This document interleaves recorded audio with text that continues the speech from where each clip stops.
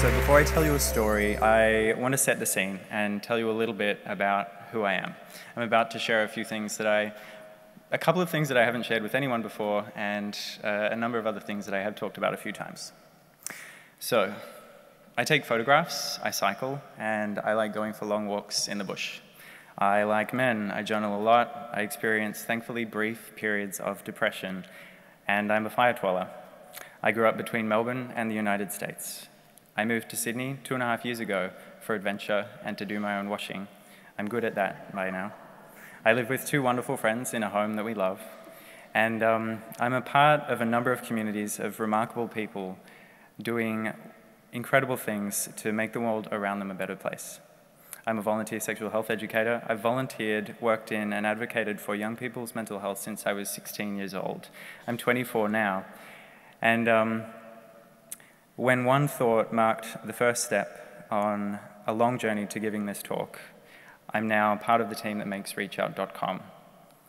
So these are a few parts of who I am today. I'm going to take you back now. It's Monday, the 18th of December 2006, one month after the end of Year 12, after schoolies with friends in a small Victorian beach town, and two days after I let go of the biggest secret I'd ever held, only to realize that no other secret would ever compare. Two days after, I told my girlfriend, my family, and my friends that I like men. And two days after, I came out to myself. So I wrote this that Monday. It's not terribly eloquent, but it's a moment captured in time.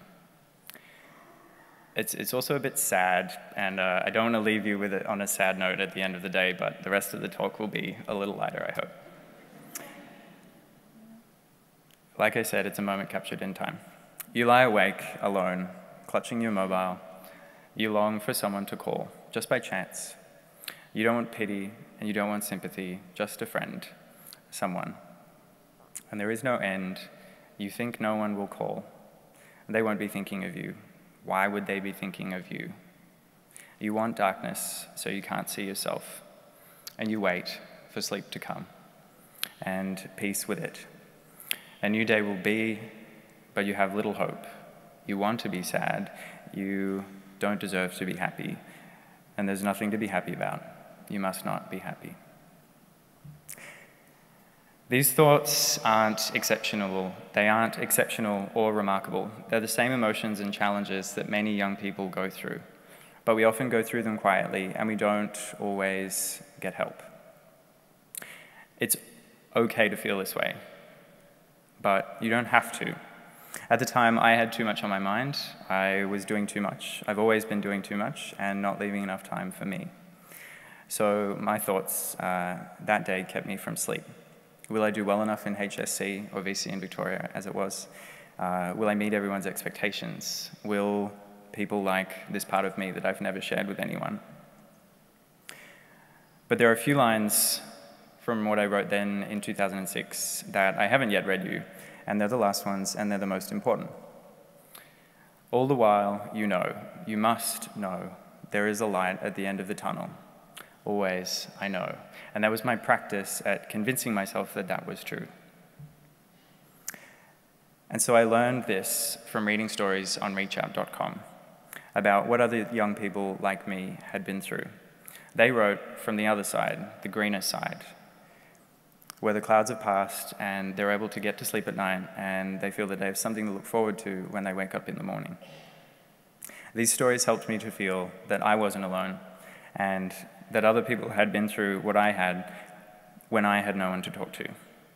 I sat up late on the computer reading story after story on reachout.com. And I remember lying in bed late one night, unable to sleep, my head under the sheets, my eyes were wet, and a thought entered my mind. Only once has it ever crossed my mind with any whisper of sincerity. Maybe it would just be easier not to be alive anymore. As soon as I heard this in my mind, everything I learnt from reachout.com came into gear. No, said another voice, my voice. I heard, other people go through this too, and you'll get through it too. You'll get past this thought. You are a good person. You might not believe it now, but you are. And so, how did I find reachout.com in the first place? In 2004, I was in year 10, 16 years old, it was nine years ago. I watched my friend cry the day away, every day, for what felt like months. Suicide was a regular thought for her, and um, neither of us had any idea what to do about how she was feeling, about how I could help her. Like most other people my age, the internet became a part of my life in late childhood. And uh, so I did what almost all of us would do now I Googled it. And one of the first results was reachout.com. I read stories about how to support a friend, and I printed fact sheets about depression and PTSD for her. I learned that the key thing I should do was support her to get help from a professional, so we talked to the school counselor who assisted her to see a psychologist. We both learned a lot from this experience. We talked about her worst times. I suggested that she make a box of things that she could open and sit with to make her feel better when she was thinking of self harming. And this is an idea that I got from Reach Out. Inspired by this idea, I started my own folder of nice things that people had said about me, which I could return to when I needed reminding that I was a good person. Reach Out helped us both understand better what we were going through. And then one time when I was on Reach Out, I wondered, who's behind this? And I clicked through to the About page, and I discovered that it was an organization called the Inspire Foundation, dedicated to embracing technologies in supporting young people to lead happier lives. When I read about how Inspire Foundation believes that young people are experts in their own lives and that they have a right to be involved in making decisions that affect them, I was really struck. I hadn't heard anything like that before, and I thought it was, ama- I thought it was amazing that, um, that, that someone who I didn't know might feel some incredible trust in me to do something for my peers. I wanted to be involved. This website had helped me so much, and I wanted to give back. And this is that one thought that I referred to at the beginning of this talk. It's because of that one thought that I'm here now. So, since then, I've spoken to thousands upon thousands of people about the importance of mental health and why it's so important in young people's lives. I've talked about how reachout.com helps young people and how it helps me. And ReachOut is now Australia's leading mental health website for young people with well over 100,000 visitors a month, which is an amazing trajectory from when, I, from when I became involved, and I'm really proud of that. I've written content for ReachOut. I've contributed to developing it into what it is today. I've raised money for Inspire, and um, I've had a whole lot of life making experiences along the way. I've also learnt the inside and out of health promotion and youth mental health promotion. But back to the question. My question today is technology the way forward for youth mental health?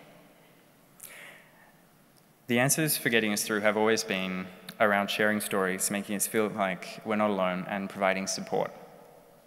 These important parts haven't changed, but the medium by which we deliver them has. Information communication technologies have proliferated our lives faster than maybe anything else. In less than two decades, we've seen a global change in communication and a national change in the way we connect with each other. Think about how many letters or postcards you've sent in the last month.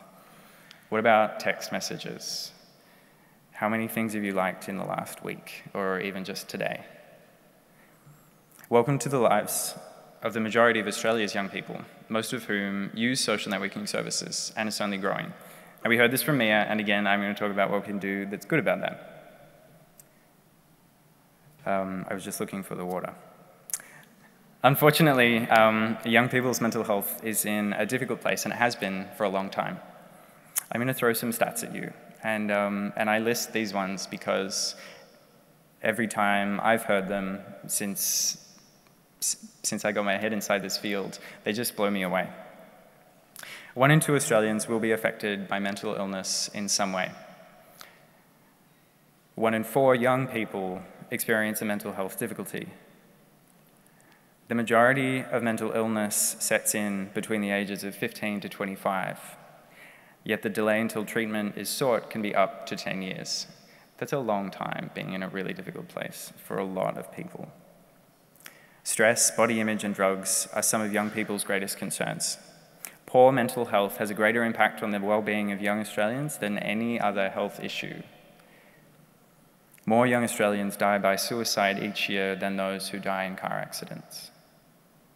And in 2009, mental illness in young people cost the Australian economy more than $10 billion.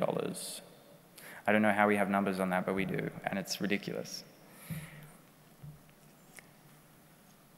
So imagine what Australia could do if young Australians were significantly more healthy and well.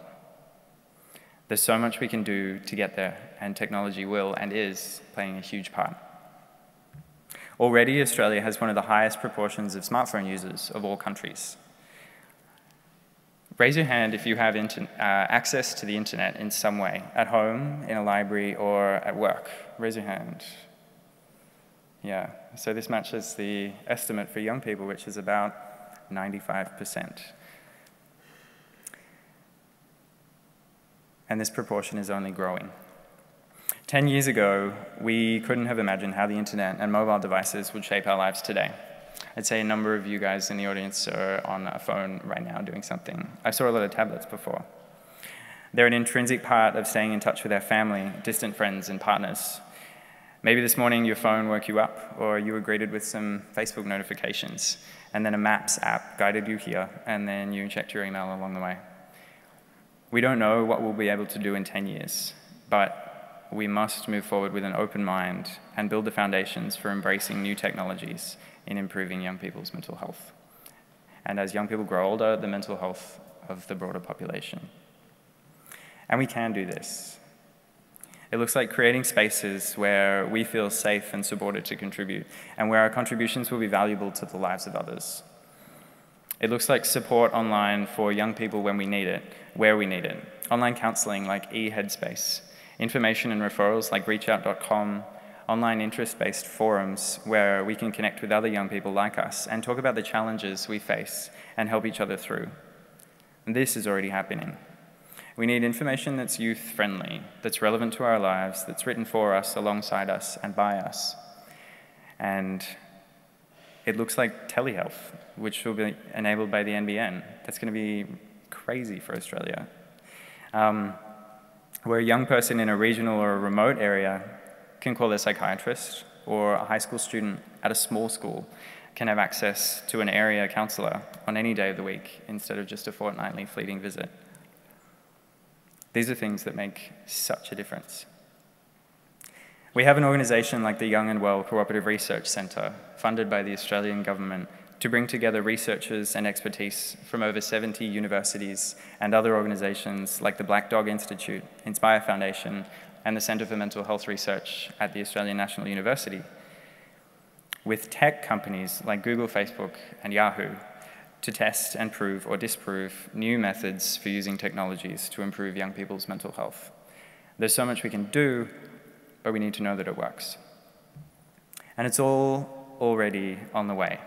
Australia is recognised as a leader in online and mobile mental health interventions. I think this is really exciting. And um, just recently, a number of us, and uh, some of them in, are, well, some of the others who took part in this are in the audience actually. Just recently, a number of us took part in Australia's first open discussion with leaders from the youth, mental health, and technology sectors about how social media can be used for suicide prevention.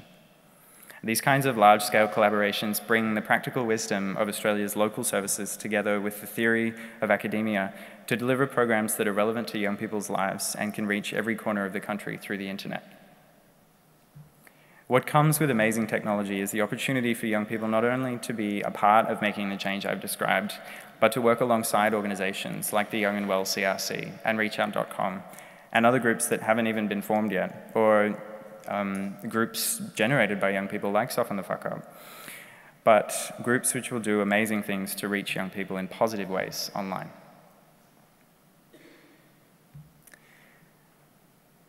So I think about everything that I know now and how I consider my own mental health and how it's just a part of how my brain works. And I feel so much stronger because of it, because I've grown up with it as a part of my daily dialogue. It's part of my conversations with friends. I talk about, honestly, how I'm going. And I get support from my friends. And when my friends need it, I support my friends. And I feel strong in saying that. As I wrap up, I, uh, I want to say that my words today might have brought things up for you. Um, think about someone you can talk to tonight or tomorrow who will help relieve your mind. Kids Helpline and Lifeline are available 24 7, and Kids Helpline takes calls from young people up to the age of 25. Even if you don't think you'll want one of these services um, soon, remember them because you might want to recommend them to someone else another time. You might resolve to see a counsellor or to discuss things with your GP. Mind Health Connect is the Australian Government's new portal for online information about mental health and well-being in Australia. Reachout.com is always there. And um, like I did, you can find more information about any of these by Googling them. So I've been telling my story in various lengths for eight years in my role as a youth ambassador for Reachout.com. And when I first thought about volunteering for Reach Out, I didn't expect that I'd be standing on this stage um, talking about that journey to here. Nor did I expect that four weeks ago I would start working there. And um, over the years, I've felt hugely inspired by the staff and the young volunteers, the youth ambassadors who develop Reach Out. And, uh, and now I'm one of them. And um, I only hope that um, I only hope that my contribution to reachout.com can help other young people like it has helped me. Thank you.